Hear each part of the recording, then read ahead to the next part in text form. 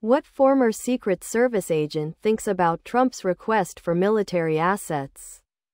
CNN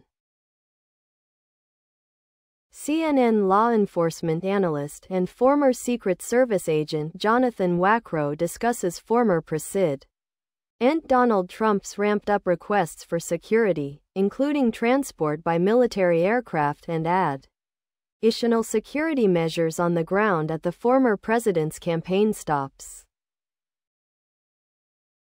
Below are your comments.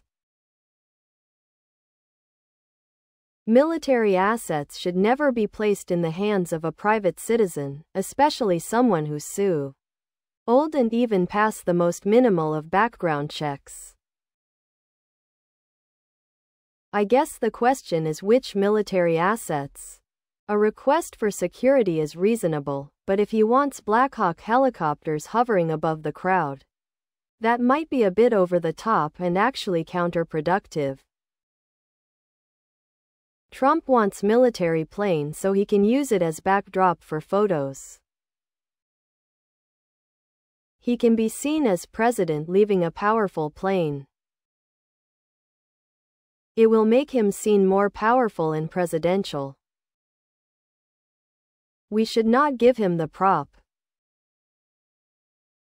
It's not the government's responsibility to protect you on the campaign trail, Donald, but your camp.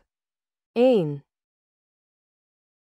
Of course, I've heard that the campaign has spent most of its money on your legal fees. It's the epitome of ironic that the person who wants more protection is the one who is causing the V. Violence to intensify to a level never seen before in our great country. It only took him four years to turn our country into a third world country when it comes to threats to government workers etc. Disgraceful that so many voters think this is normal. Please subscribe to my channel. And if you like it, please thumbs up.